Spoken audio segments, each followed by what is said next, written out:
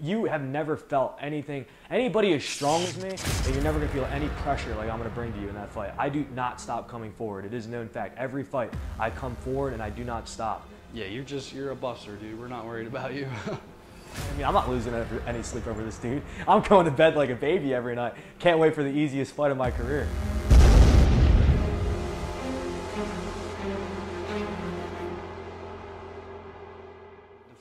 Last fight, April 25th, he came on, third fight or whatever, started running his mouth. And uh, we weren't going to respond to those little, you know, you know, little trash talk. I mean, it doesn't really matter to us. Um, then we were trying to get him matched up against B.Dot. He said he wasn't going to fight B.Dot, so you know, coaches, you know, all came together and said, you know, we'll just, you know, give Lex what he wanted. At first, he tells Ryan, no, we're not taking this fight. We're fighting at 170. And then all of a sudden, the guy like wants to fight me. So like, I'm, I'm confused in the situation really. Like, do you want to fight me or do you not want to fight me? If you want to make the fight exciting, you want to give the fans what they want, why don't you stand in front of me and bang with me? I dare you to.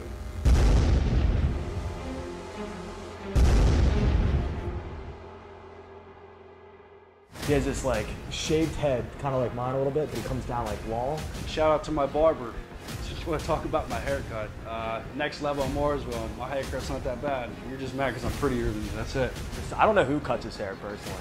I'd love to know, you know, just that because like I guess he goes to like uh, Great Clips right off of uh, what, uh, what, what, what, what's that road called? Dude, I think you're a weasel. Uh, he, he's like a WWE superstar. I don't think MMA is for you. I, I watched one of Lex's fights for Ryan. You got beat so badly. You kept getting hit and falling. Like I, like it looked like you just did not belong in there. Like I, I like, I'll give you props. You know, that's the only thing I'll give you. You're a mediocre wrestler and you got balls. That's it. That's all you got. That's only gonna take you so far. The guy is a, a one-trick pony. He has no wrestling. He was getting beat up by a 13-year-old boy in the middle of a cage at uh, Xtreme Caged Combat 20. Literally, I don't even know. I don't even know how he got like, like I don't know how that fight was sanctioned. Like I, when he the dude walked out that he was fighting, I legit thought the dude was a 13-year-old boy. Like I didn't know that. Like I, I, looked to the right and I said to my buddy that was sitting next to me, I was like, "Yo, dude, is this guy 13 years old? I guess they're having a grappling match with a guy who's wearing gloves." I'm like, "Who the heck is this guy fighting?" I think he has no striking you know, I'm to hit him, and he's just he's to bottle up. Um, you know, his, his wrestling's mediocre. I mean, I'll give him that. My wrestling's better. Um, you know, takedown defense, you're not going to take me down. I'm, not, I'm probably the hardest fight you've ever had in your life. I don't care about this Carl Robinson dude you fought. Um, that I mean, he's so prideful about. It's like, it's like fighting a kindergartner. There's, there's like, you know what I mean? Like, I just got to hold his head back. That's all I have to do right there. Hold on, he swings a little bit, kick him in the face, falls down, tap him out. I just I just love how the dude just doesn't. Oh my gosh, he just doesn't think I'm good or something like that. Like he acts like this is gonna be the easiest fight. He's never felt pressured like I'm gonna put on him. I was taking in high school. I was taking down 285 pound men when I was 230 pounds. I fight 205. I was taking down 205 pound men. I would love to know how you walking around at probably 190ish is gonna not allow me to take you down. I have I've never not taken down somebody I've have ever fought, and it's going to be no different. I'm going to need one takedown. That's all I'm going to need. Next question. Your takedowns, they're mediocre. We're, our wrestling's a lot better. The wrestlers that come in NPR, look at our wrestling coach, Chucky Connor. Who's better than that around this area? Who's better than that on the East Coast right now? Nobody. You're not going to take me down, and that's the only thing that we're training for for you. We're not worried about my hands. You're going to cage press me? That's nothing. It's nothing at all. We, you know, we're ready to go wherever it goes. If he thinks I'm just going to wrestle him the entire fight, then he just he has another thing coming for him because, I mean, his his stand up is very childish. Uh, you know, like and again, my striking is you're not even near my tier. Uh, takedowns, all that, jiu-jitsu. We'll see how it goes if you even get me there.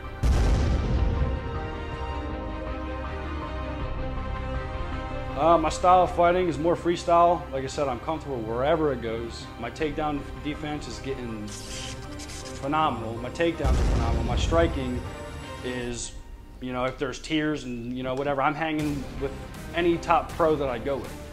Burke? Justin Burke? What does he do better than me? This might take a while. We might be here for a year. I don't know. Maybe get weird haircuts. I don't know that's the only thing I can think of. Uh, this is my last fight at 185. We, won't, we only stayed here to fight this kid. because he was talking trash and he turned down B-Dot, I heard. Um, so we stayed here to fight 185. My very first fight in 2012 was at 170, and I'm going back down to 170. Um, that's that's it. So you know, my goal is I'm not stopping until you're paying $60 to watch me on pay-per-view. Actually, I have one last message for you, Justin Burke. Now, I don't want you to like get any like cold jitters or anything like that because I know when you uh, you know agree to fight me, that was probably the scariest thing that you've ever done in your entire life. You probably like were you know shivering about it at night. But I don't blame you. I mean, look at me. I'm the not only the best looking dude, but the most intimidating dude that XCC has to offer. You know what I mean? Lex stands and bangs with me. He's going to give me what I want. We're going to give the fans what they want. I'm not the one that's going to be dropping. So, and word around Rez, you want you want to retire me. Good luck. Good luck. You're in my way of going, making a long career, a professional career. So, bring it on. I don't want you to have last minute things because I heard rumors speculating that if I miss weight, if I'm over 186, that you will not fight me. Um, that is the most coward thing I've ever heard in my entire life. If I train for six months or something like that, and the dude is 15 pounds over, I'm still going to fight him. I'm not afraid of any person.